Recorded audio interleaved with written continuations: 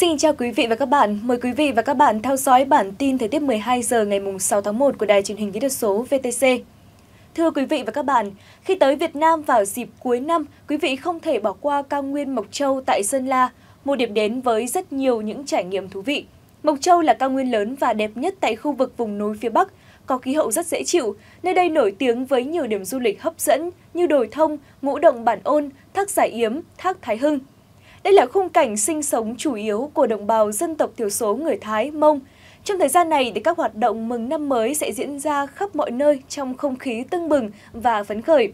Người lớn, trẻ em thì đều diện những bộ quần áo mới đầy màu sắc và tham gia các trò chơi truyền thống như ném còm, múa khen hay là đánh quay. Và khi ghé thăm Mộc Châu vào khoảng thời gian này thì quý vị có thể hoàn toàn yên tâm về tình hình thời tiết.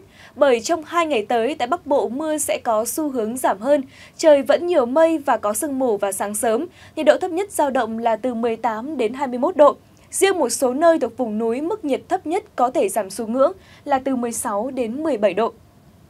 Đến trưa chiều trời sẽ giảm mây hứng nắng, với nhiệt độ cao nhất có thể chạm ngưỡng là 27 độ. Sau đó từ đêm ngày mùng 8, sáng ngày mùng 9 tháng 1 thì không khí lạnh từ phía Bắc có khả năng tăng cường lệch đông.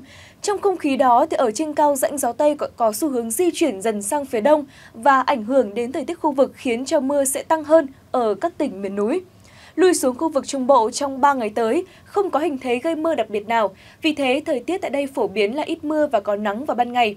Nền nhiệt có xu hướng tăng dần từ Bắc vào Nam với mức nhiệt trưa chiều giao động từ 25 đến 28 độ tại các tỉnh từ Thanh Hóa cho đến Thừa Thiên Huế và từ 28 đến 32 độ tại các tỉnh từ Đà Nẵng trở vào cho đến Bình Thuận. Như vậy là trong những ngày tới, thời tiết tại khu vực này nói chung là khá thuận lợi cho giao thông đi lại cũng như là các hoạt động thường nhật của người dân. Ở phía Nam khu vực Tây Nguyên và Nam Bộ đã bước vào mùa khô nên trong 3 ngày tới, Tại đây, thời tiết tiếp tục là ổn định, trời vẫn phổ biến ít mưa và có nắng vào ban ngày. Nhiệt độ ban trưa phổ biến ở mức là 27 đến 30 độ tại các tỉnh Tây Nguyên, còn tại khu vực Nam Bộ sẽ là từ 30 đến 33 độ. Trời tiếp tục ít mưa trong nhiều ngày tới, vì vậy quý vị nên có biện pháp chăm sóc và điều tiết cây trồng hợp lý để đảm bảo năng suất và hạn chế thiệt hại do điều kiện thời tiết. Và tiếp theo sẽ là phần dự báo chi tiết trong 3 ngày tới cho các khu vực trên cả nước. Thưa quý vị, tại khu vực phía Tây Bắc Bộ, và ngày mùng 7 và ngày mùng 8, đêm và sáng nhiều mây, có mưa vài nơi, trưa chiều trời hứng nắng, gió nhẹ. Sang đến ngày mùng 9 tháng 1 thì trời sẽ nhiều mây, có mưa rào và có nơi có rông, gió nhẹ. Nhiệt độ cao nhất trưa chiều thì có thể chạm ngưỡng là 27 độ. Thời tiết trong hai ngày tới tại khu vực phía Đông Bắc Bộ phổ biến là đêm và sáng nhiều mây, có mưa nhỏ vài nơi và sương mù rải rác. Trưa chiều trời hứng nắng, gió đông đến đông nam cấp 2, cấp 3, đêm và sáng trời lạnh, nhiệt độ dao động từ 24 cho đến 27 độ. Sang đến ngày tiếp theo, trời nhiều mây và có mưa rào rải rác tại các tỉnh vùng núi, nền nhiệt có xu hướng giảm nhẹ khoảng 1 độ. Còn đối với các tỉnh Thanh Hóa đến Thừa Thiên Huế, trong 3 ngày tới đêm và sáng nhiều mây, có mưa vài nơi, trưa chiều thì trời sẽ nắng, gió nhẹ, nhiệt độ dao động trong khoảng từ 25 cho đến 28 độ.